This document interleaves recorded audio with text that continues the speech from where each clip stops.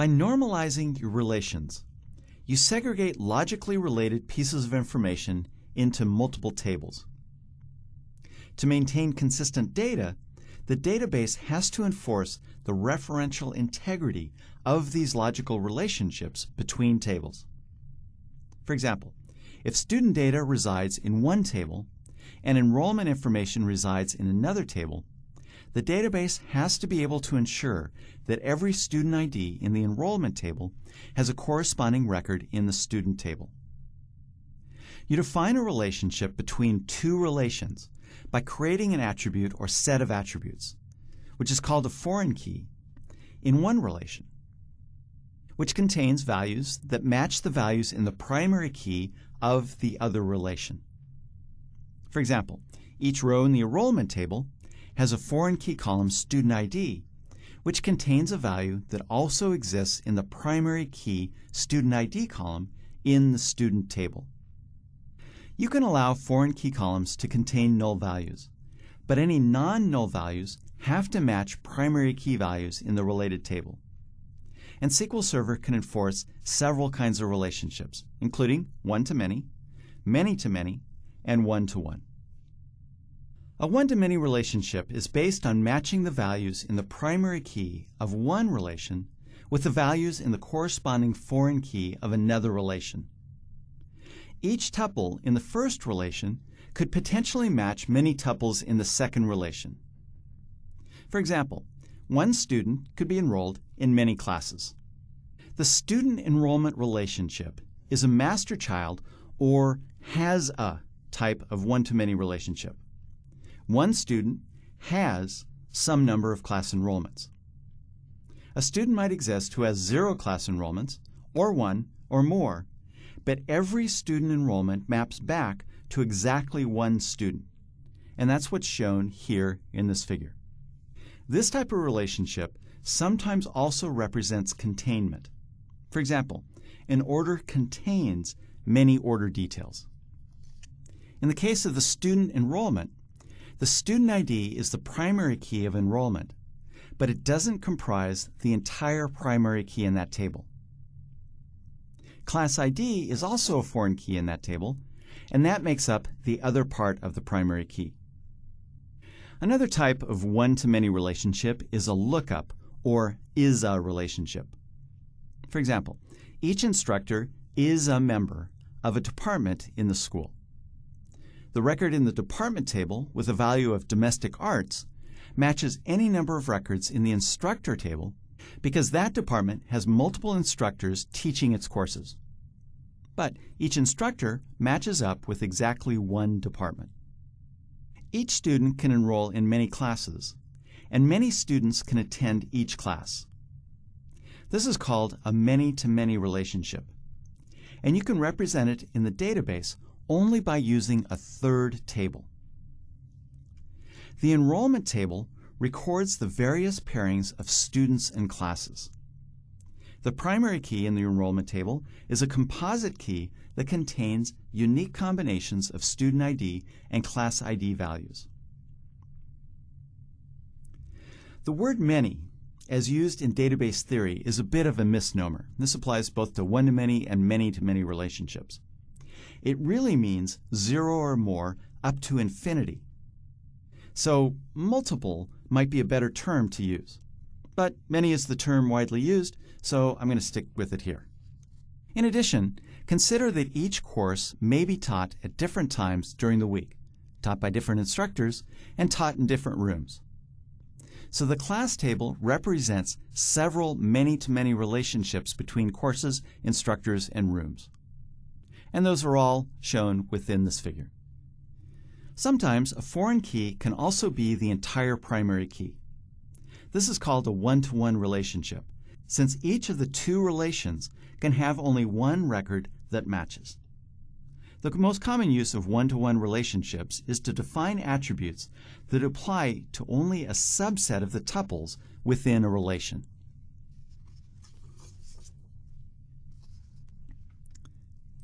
For example, you might have a person table that holds general information about all people in the database. and an instructor table that holds extra information that applies only to faculty. So you can represent that. Each record in the person table might or might not have one matching record in the instructor table, but each record in the instructor table would have exactly one matching record in the person table. And that's how this relationship could be defined. In this case, instructor ID is both a primary key and a foreign key. Because every instructor row has to have a matching person row. However, person ID is only a primary key and not a foreign key because every person row doesn't have to match an instructor row. People might be students as well, or staff. One-to-one relationships, like the one for persons and instructors, can be used to represent object-oriented type hierarchies. In a middle-tier type library, person might be a base type and instructor a derived type that inherits from person. You can also use one-to-one -one relationships to partition a table for security so that you locate confidential data elsewhere and restrict access to that table. And you can also accomplish that sort of thing with views. Another reason to use this type of relationship is to partition the data for security so that the data resides in separate tables and is retrieved only when needed. Enforced relationships require that every foreign key value have a matching primary key value on the related table. In other words, the enrollment table can't contain a student ID that doesn't correspond to a matching student ID in the student table. Enforcing referential integrity also means that a student record can't be deleted while any enrollment records exist that depend on that student. In addition, you can't change a student ID value without making the same change to the student ID values in related enrollment records. But SQL Server and other industrial strength database engines optionally let you have the database server manage those relationships and keep them synchronized, even when you update or delete data. And this is called cascading updates and deletes. SQL Server allows you to enforce referential integrity through cascading updates and or deletes to related tables. So, for example, if you try to change a student ID value in the student table that was also used as a foreign key in the enrollment table, SQL Server can cascade the update, permitting the change in the student table and updating all related records in the enrollment table as well. Cascading deletes result from deleting a student as well as all related records in the enrollment table, leaving no orphans behind. Cascading deletes are potentially dangerous. Careless use of cascading deletes can easily wipe out all of your historical data. So be aware. Now, cascading updates handle the problem of changing primary key values because they automatically update related foreign keys in all related tables. You should never need to use this method if you use surrogate keys. But either way, you should always choose a primary key for its stability, one or more fields that will never change for that row. Cascading deletes also handle the problem of deleting related records in other tables so that the deletion doesn't violate any foreign key constraints. A cascading delete is potentially very dangerous, as I mentioned, mainly because it could mean the loss of historical data related to the main deleted record.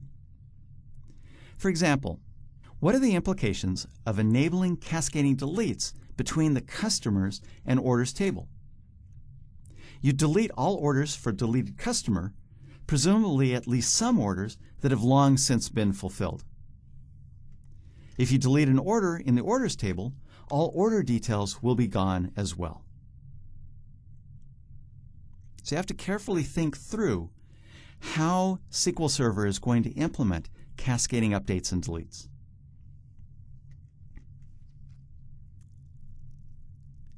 In SQL Server 2005, Microsoft added the option to specify that updates or deletes of a primary key set related foreign keys to null or to their default values. This doesn't make much sense for updates, but it makes a lot of sense for deletes when the foreign key allows nulls or has a default value. When the relationship is a parent-child relationship of containment, a cascading delete is often appropriate. If you delete an order, you probably want to use the cascade option to delete its order details. However, for lookup relationships, you can use the set null or set default option to leave the related record intact. For example, if you delete a department, you probably want to leave the instructors in that department intact. You can have their department assignment set to null or to a default all-purpose department, and then fill in the correct new department assignments later. You specify cascade options when you define foreign key constraints. The new options in SQL Server 2005 match similar capabilities that exist for the foreign key constraints of data table objects within ADO.NET, if you're a .NET programmer. Even with fully normalized tables and well-enforced referential integrity, garbage can creep into your database in plenty of other ways. You can't prevent all data entry errors, but you can do a lot at the database level to increase the chances that invalid data will be rejected. Relational theorists have formulated distinct categories of integrity. For example, the uniqueness of each tuple in a relation is generally considered to be a form of entity integrity. The restriction that a particular attribute can contain only dates is an example of enforcing domain integrity and the creation of relationships between primary and foreign keys enforces referential integrity. However, these distinctions between different types of data integrity are not as simple as they appear. Since entity integrity and referential integrity can be considered forms of domain integrity. Domain integrity is the restriction of attributes to a defined domain of valid values. When you select a data type for a column, you restrict the domain of values that can be stored in that column to dates or strings or logical values or whatever. When you select whether to permit nulls, you refine the definition of the domain. Designating a primary key or a unique index can also be considered restricting the domain to values to prevent duplicate key values. Even the creation of relationships can be seen as restricting the domain of non-null foreign key values to values that exist in the corresponding primary key in the related table. So in a sense, all forms of data integrity are variations on the basic concept of domain integrity. Some types of data integrity are referred to as business rules. For example, you may want to restrict the domain of school class dates to include only dates that fall on weekdays.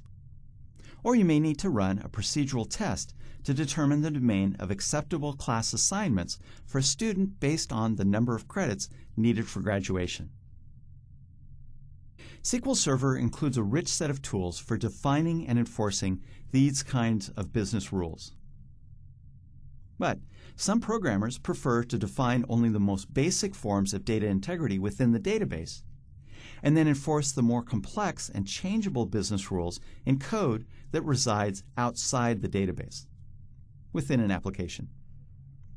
To enforce these rules, you have to always use external code to make changes to the affected objects in the database.